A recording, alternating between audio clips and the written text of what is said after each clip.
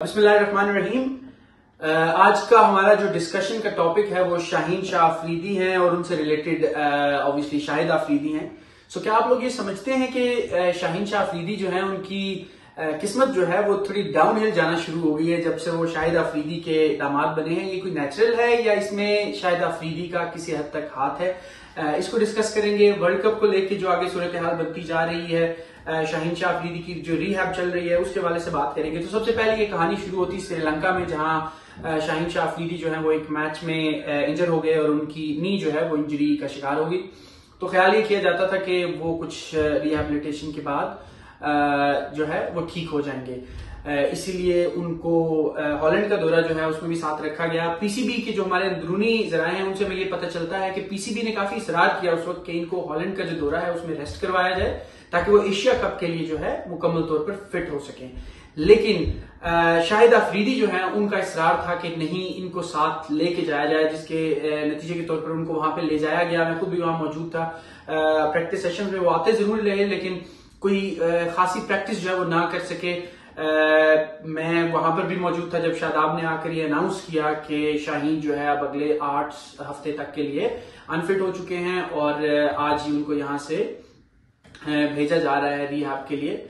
तो बड़ी अफसोसनाक बात थी क्रिकेट की दुनिया के लिए और स्पेशली पाकिस्तानी फैंस के लिए बहुत बड़ी खबर जी और बहुत बुरी खबर भी थी, क्योंकि एशिया कप में जो है वो शामिल नहीं हो सके और बहुत हद तक उनकी कमी जो है वो महसूस होती रही। पाकिस्तानी बॉलर जो है, उन्होंने अच्छी बॉलिंग की शादाब अच्छी बॉलिंग करते रहे नसीम शाह ने एक बड़ा नाम बनाया और ये भी एक अल्लाह ताला की तरफ़ से होता है कि किसी की कमी जो है वो किसी का मकाम बनाने में एक किरदार अदा करती है। सो वो वहाँ पर एशिया कप में शामिल नहीं हो सके। अब आगे सूरत हाल आ रही है वर्ल्ड कप की। तो पहले ये कहा जा रहा था कि वर्ल्ड कप के लिए वो डेफिनेटली तैयार होंगे, लेकिन जो अभी तक की सिचुएशन है, उसमें उनका वर्ल्ड कप में भी शामिल जो होना है, वो फिफ्टी फिफ्टी जो हो गया है। रिहैब की बात की जाए तो अभी बरतानिया में, इंग्लैंड में, जहाँ पर मैं मौजूद हूँ, यहाँ पर उनका रिहैब जो अभी वो लंदन में चल रहा है। पीसीबी के जो डॉक्टर्स हैं, वो डॉक्टर ज़फ़र साहब उनके पास, पहले वो उनके घर पे रह रहे थे और अब जो है उन्हें सुनने में आया है कि उनको उनके होटल में शिफ्ट कर दिया गया है, जहाँ पर अभी भी वो उनकी रिहैब जो है उस पर नज़र रखे हुए हैं। सुनने में ये भी आ रहा है कि नेक्स्ट वीक जो है, जो बॉलिंग कोच हैं, वो भी पाकिस्तान से आ रहे हैं, जो उनकी बॉलिंग जो है वो भी स्टार्ट करवा देंगे। तो ये एक अच्छा साइन है, उनकी जो बॉलिंग है, वो दोबारा से शुरू होने जा रही है। तो उम्मीद यही की जा रही है कि उनको वर्ल्ड कप में शामिल किया जाएगा। स्क्वाड में तो डेफिनेटली वो होंगे, लेकिन क्या वो 100 परसेंट फिट होंगे या नहीं, ये अगले आने वाले कुछ दिनों में जो है वो देखा जाएगा।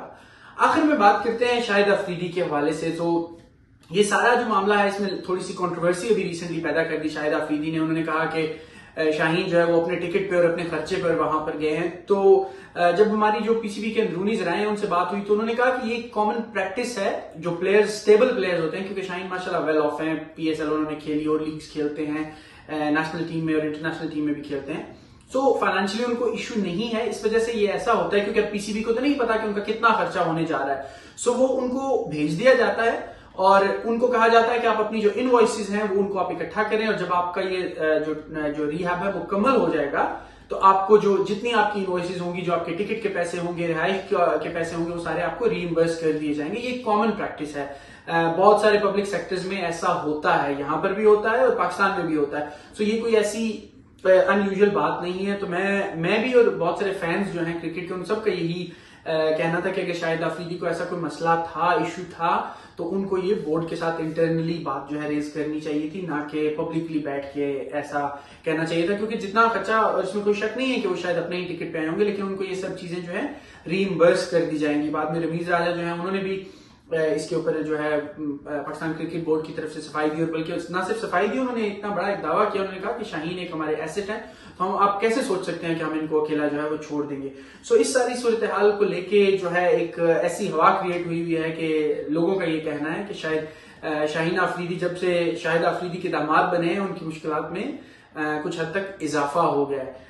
आपका क्या कहना है इस बारे में? आपकी क्या राय है? प्लीज़ कमेंट्स में हमें ज़रूर आगाह कीजिएगा और हमारा चैनल जो है, इसको ज़रूर सब्सक्राइब कीजिएगा।